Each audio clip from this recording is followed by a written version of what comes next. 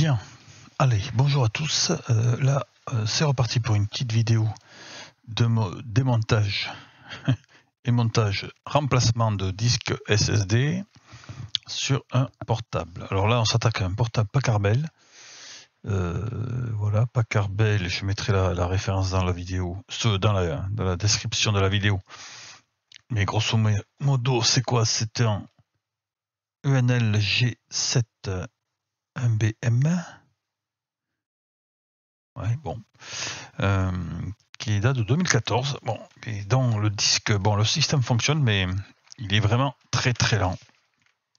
Et euh, j'ai passé un petit logiciel de test euh, Crystal Disk Info pour ceux qui ne connaissent pas, qui permet de, se connaître l'état du, disque en fait et qui m'a indiqué qu'il euh, il fallait être prudent avec ce disque parce qu'il y avait des secteurs défectueux. Euh, disons que ça dépassait les seuils euh, tolérés et donc fortement conseillé dans ce cas-là de le remplacer. Bon, en plus c'était un vieux disque mécanique donc pas de regret. On va mettre un petit SSD qui va bien comme on fait en ce moment pour ça fait vraiment un gros gain de performance. Donc là c'est des Pacarbel qui est une abomination en homme de vis, regardez-moi ça. Donc on va s'amuser, là j'avoue que c'est le premier fois que je fais ce modèle. Donc on va voir euh, comment ça se passe. Euh, Packard c'est pas connu pour être euh, très pratique à, réparer.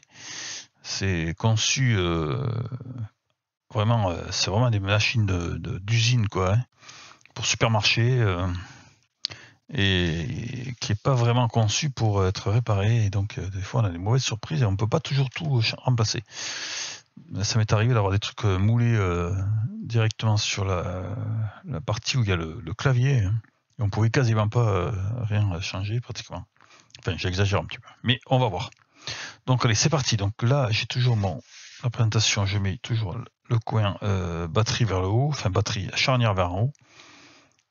Après, je me positionne mes, vis là-bas, dans l'ordre où je les enlève. On ne sait jamais s'il y a des petites particularités dans, certains cas. Déjà, j'en vois une, c'est celle du pour le DVD, mais je crois que je vais la sortir de suite, celle-là. Ça, on va se sortir le DVD de suite. Celle-là, quand elle est positionnée là, on voit que c'est bien en face du, de là où il y a un DVD, sortie du DVD, donc probablement, ça correspond, voilà, tout à fait. On peut sortir le disque facilement maintenant.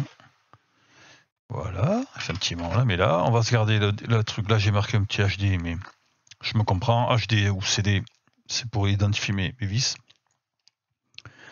Et c'est parti, mon kiki. On va partir de cette. Moi, je pars toujours des charnières. Hop, et on positionne. Alors là, là, c'est euh, la fête aux vis. Plus la vis, comme on dit. Parce que là, il y a du boulot.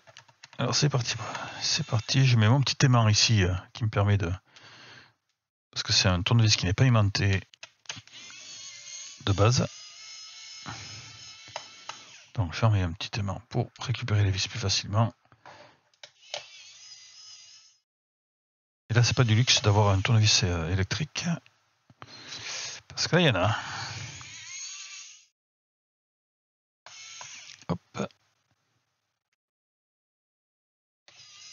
quoi s'amuser. Bon, jusqu'à là, l'avantage, c'est que je vois que toutes les vis sont à la même hauteur. Première ligne, deuxième ligne. Allez. Ici. Tac.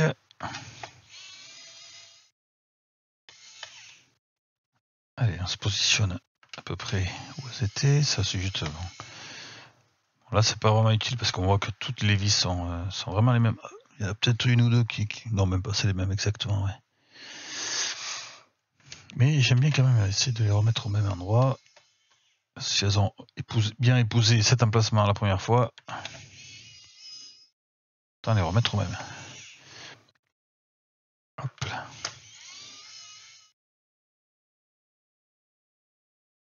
Voilà, donc ici troisième ligne.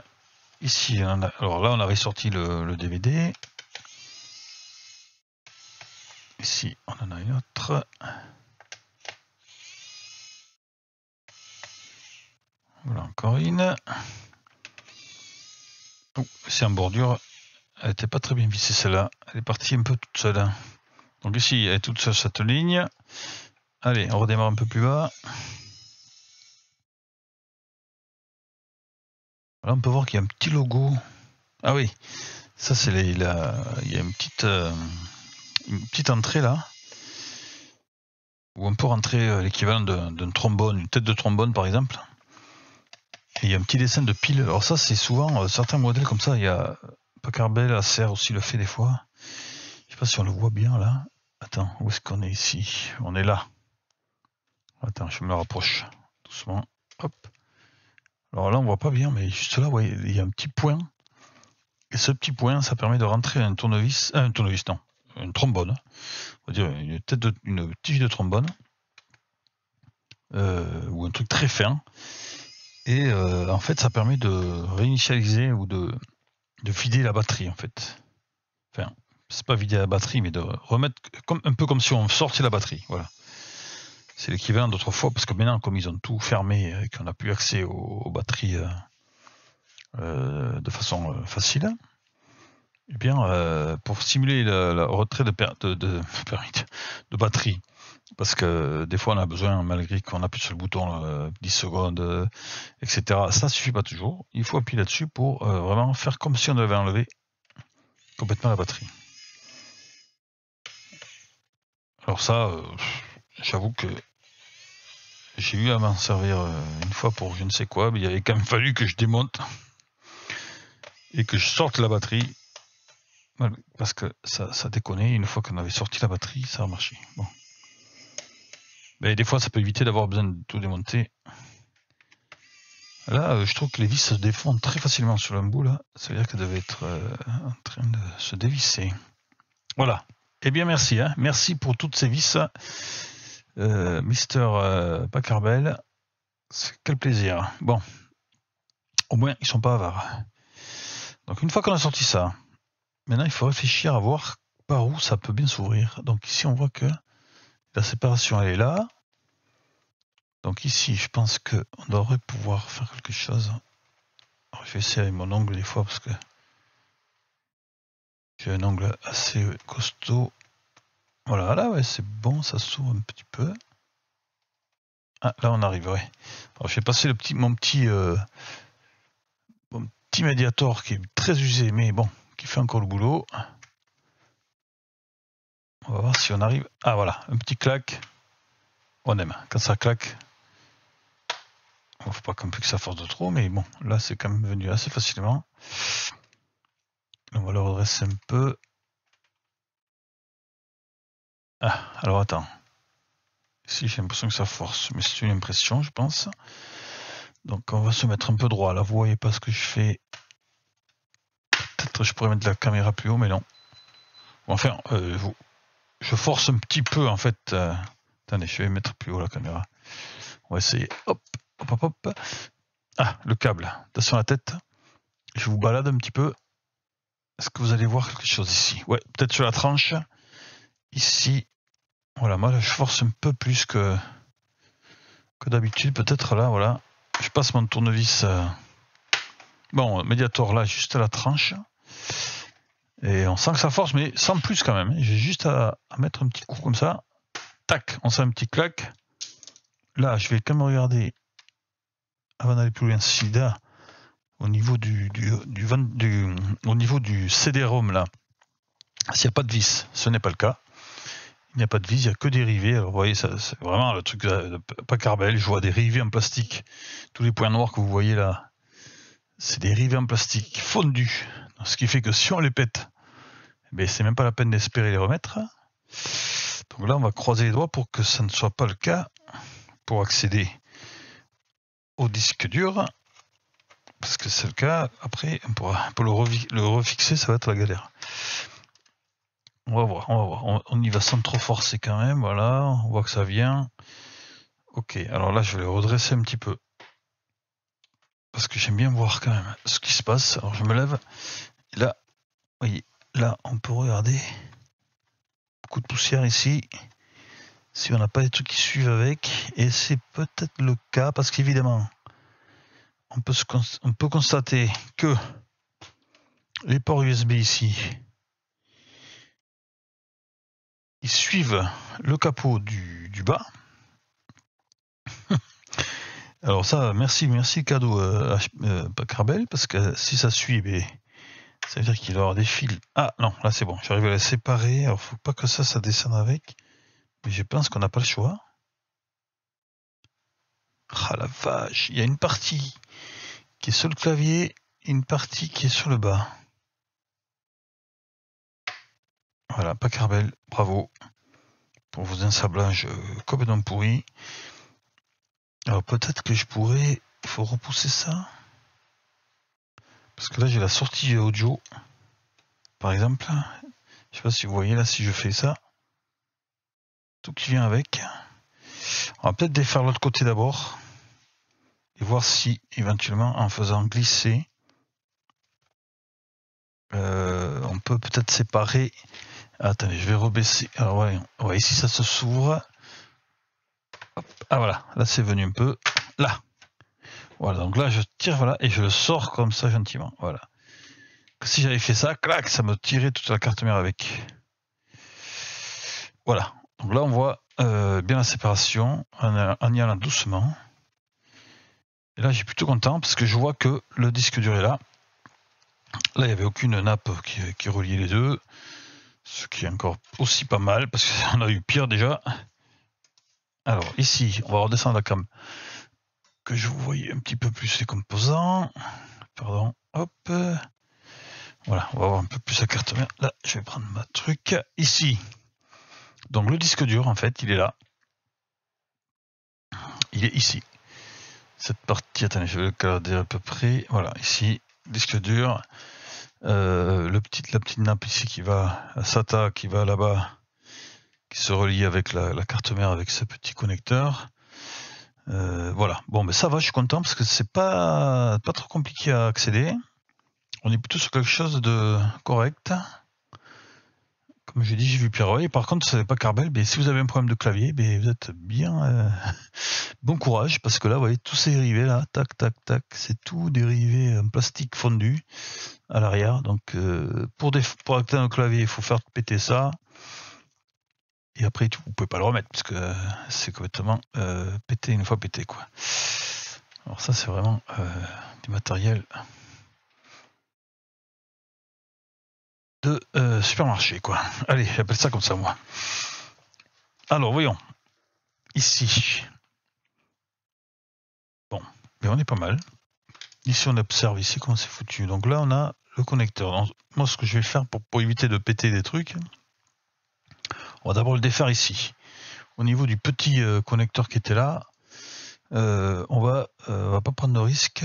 Alors là, bon, évidemment, en, très gros plan, je pense que ça va pas jouer beaucoup, mais enfin, vous voyez quand même. Ici, il y a une partie marron. Avec le pouce, je le lève. Je lève là. Voilà, ça se lève. Il y a une petite partie toute petite. Là, faut y aller de mollo parce qu'il faut pas perdre les, les parties comme ça amovibles.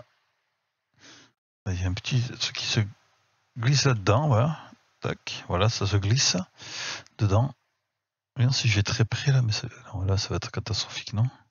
Oh, On voit bien quand même, hein. on voit, oui. Oh, ce petit connecteur là, avec cette, cette barre noire ici. Voilà, ça se met là-dedans. Tac.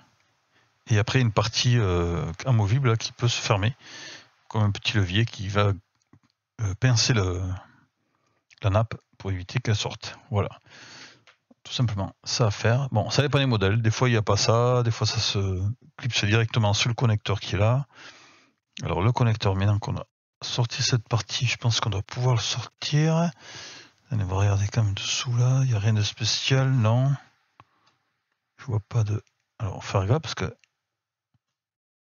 Bon, à la limite, j'aurais pu sortir le disque avec avant, mais peut-être faire ça d'ailleurs. Alors, parce que le disque, il a pas l'air. Ah, mais non, il n'est pas fixé. Il est juste posé dans un petit réceptacle là.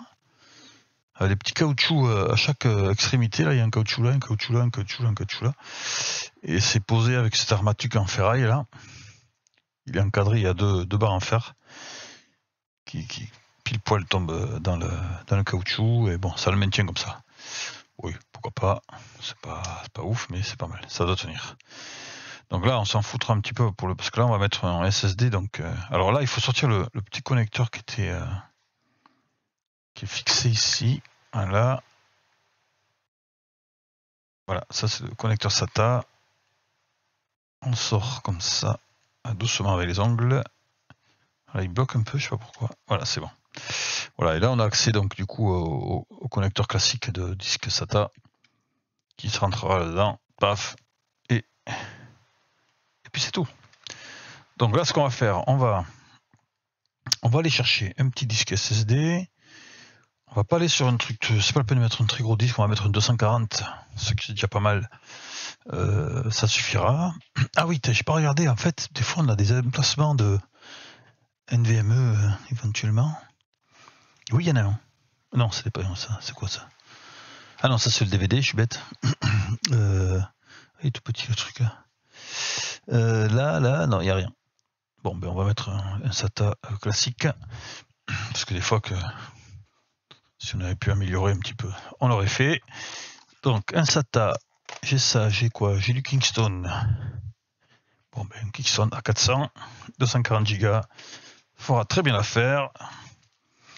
Moi je, je pense bon Kingston, euh, Crucial, Bon, euh, je n'ai pas, pas de marque particulière. Je regarde les prix, je regarde ce qui ça vaut le coup. Bon, je prends pas trop des, marques. J'ai eu des marques qui, m'avaient posé de problème, mais Criston, Crucial, qu'est-ce qu'il y a d'autre? Seagate. J'ai jamais eu trop de problèmes, donc. Euh, Kingston et Crystal d'ailleurs sont souvent dans les prix. Euh, alors en termes de performance, il y a mieux bien sûr. Alors là pour, ce type d'appareil, euh, je vais pas chercher forcément euh, quelque chose de très performant pour les débits, tout ça, tout ça. Parce que c'est une machine qui est déjà ancienne à 2014. Bon, elle n'a pas de, NVMe hyper. enfin le débit n'est pas ou le chipset ne gère pas des débits euh, de, ouf, donc c'est pas la peine d'aller s'embêter à prendre des disques euh, ultra optimisés. Avec ça, ça ira. Et c'est quand même quelque chose de bien. Il n'y a, pas a pas à dire. Allez, c'est parti.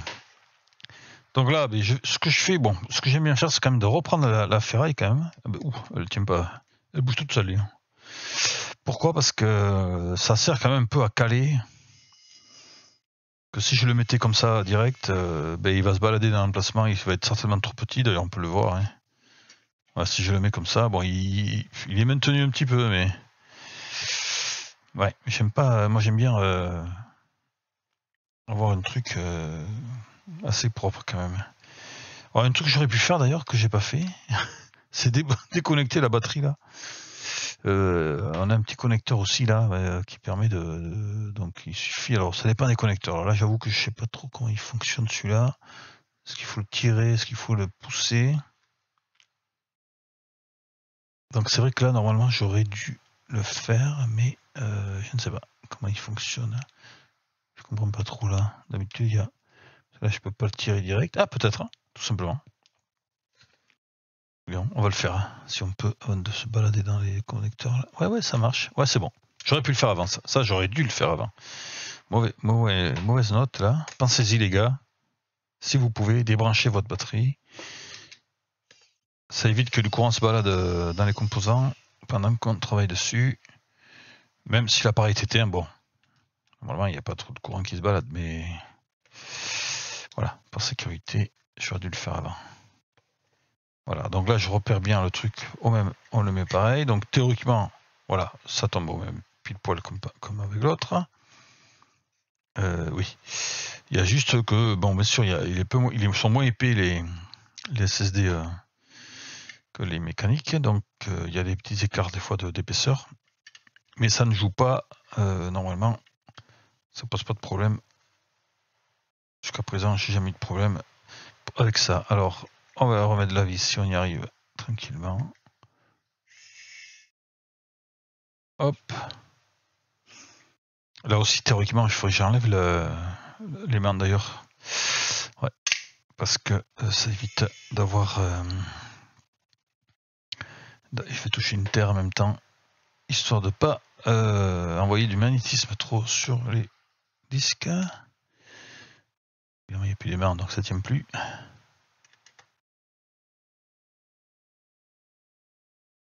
Pour l'électricité électricité statique, aussi, il vaut mieux se, décharger, mais bon, moi je le fais régulièrement dans la journée. Dès que je, touche un truc, je touche une terre. Alors là, si j'ai les prises de terre euh, sur mes, sur mes multiprises, j'en ai un peu partout. J'ai euh, une, une étagère juste à côté, euh, un radiateur juste derrière. Enfin bon, j'en ai partout la prise de terre que je touche de temps en temps.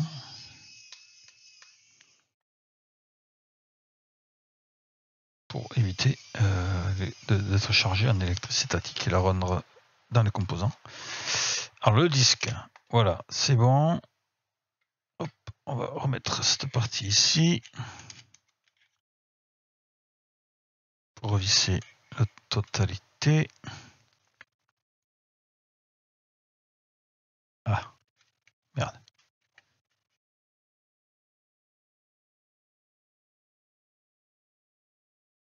C'est bien, c'est bien, c'est bien les aimants finalement. Euh, où est-ce que je suis là? Je suis, en place ou pas? Oui. Hop. Voilà.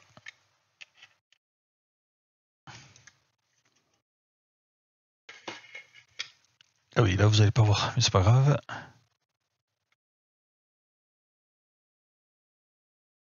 C'est juste une vis. Car il pas rentrer, mais bon, c'est bon. Tac. Voilà. Donc là, hop, on vérifie que c'est tout bien fixé, parce que là tout à l'heure, il y en avait une qui se baladait. C'est marrant, avec le temps, elles arrivent à se dévisser les trucs. Hein. Bon, là on est bon. Donc ici, on remet le disque dedans. Là, ça force un peu, mais moi je préfère que ça force. Ça, on est sûr que ça bougera pas. Ici, on se remet le petit connecteur qui va bien, qu'on avait sorti juste avant. Tac. Ici, ben, ça change rien puisque c'est le même type, euh, la taille de disque est la même. Donc on tombe pile en face. Là, on a un petit repère avec le trait noir que je vous ai montré tout à l'heure. Le trait noir est à la limite. Hop, on peut rebaisser le capot. Voilà, donc là tout est bien en place. Euh, bah, écoutez, euh, on va être pas mal. Je vais peut-être passer un petit coup d'air, histoire de le nettoyer quand même un petit peu. Il n'y a pas beaucoup de poussière, mais il y en a.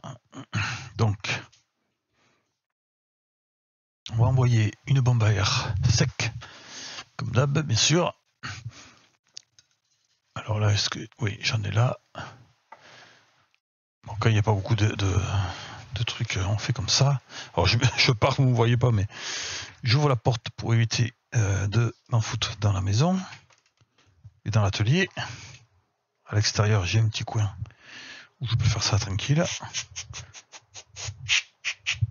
Ah oui, il y en avait un peu. Il y en avait un peu. le haut-parleur ici. Attends, je le pose parce que j'en ai j'ai vu que à la sortie du ventilo ici, il y en avait aussi. Mais ça, ça va lui faire du bien. Bon. Ouais, il y en avait quand même un petit peu au, niveau de la ventilation.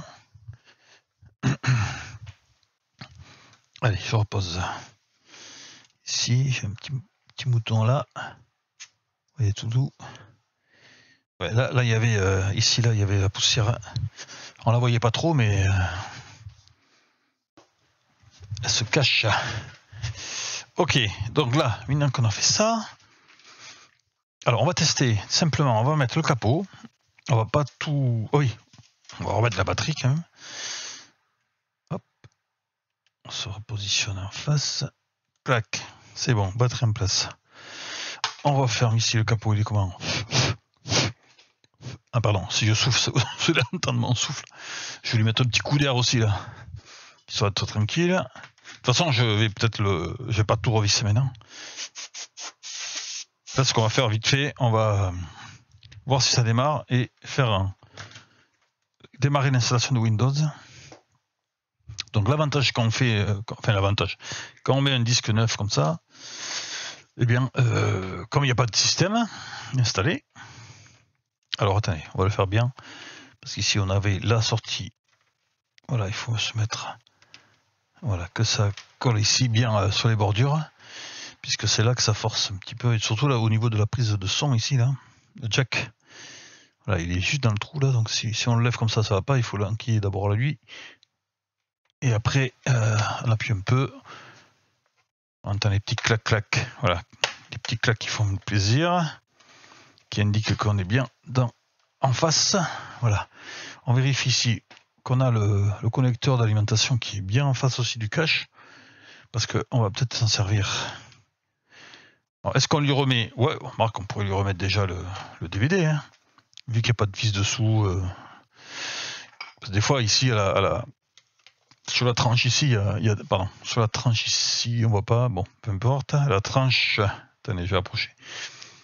C'est bon à savoir, c'est-à-dire que ici sur la tranche là, je sais pas si vous voyez mon doigt, non plus. Pourquoi mon fil se casse? Ah oui merde, j'ai un truc, pardon. Hop, j'ai un truc qui me gêne ici, voilà. Euh, on voit pas bien, mais là, la tranche ici, là, c'est là que se met le, DVD. Hein. Et des fois, ici dessous, il y a des vis pour retenir le cache, euh, pour visser les deux, le cache du bas avec le cache du haut, quoi. Top case. Et alors, euh, ici, ça se met là. Donc, des fois, il vaut mieux ben, les mettre à la fin pour visser d'abord. Mais là, il n'y en a pas. Hop, on fait, il y a juste la vis ici pour, pour le tenir à lui. Et c'est tout. Donc, impeccable. On peut le mettre avant, du coup, ça gênera pas. Euh, est-ce que je remets la vis? Non, parce que ça va, il ne va pas sortir tout seul non plus. On mettra la vis quand on vissera tout. Donc ici, eh bien, on va pouvoir le démarrer. Alors ce qu'on va faire, on va le brancher, quand même, on va le brancher au courant. Parce que euh, l'installation, bon, je connais pas l'état de la batterie, je sais pas si ça dure 10 minutes, euh, des fois ça dure 5 minutes, je ne sais pas du tout. Donc pour installer Windows, mais il vaut mieux l'alimenter. Comme ça, on peut rester tranquille le temps que ça s'installe. Je vais aller me chercher ma petite clé. Alors, un de ces quatre aussi, je ferai euh, peut-être dans une prochaine vidéo. J'ai bien envie de faire ça, mais je ne vais pas le faire aujourd'hui. On va, se cantonner sur un modèle, un démontage. Et un jour, je ferai une vidéo, je pense, pour euh, dire comment on crée une clé comme ça. Bon, moi, j'ai l'a vécu un petit peu. Windows 10, il y a écrit normalement euh, sur le papier là. Donc, c'est une clé. Bon, on peut l'avoir très facilement en, allant sur le site officiel de Microsoft, télécharger un petit outil euh, qui va nous permettre de créer un, disque de démarrage de sur clé, bien sûr, maintenant, parce que sur DVD, on s'en fout un petit peu maintenant. Parce que maintenant, bon, quand vous changez le disque et que euh, le système s'est démarré, comme il ne va pas pouvoir démarrer sur le disque qu'on vient d'installer, vu qu'il est vide, il n'y a rien dedans, il n'est même pas formaté, rien.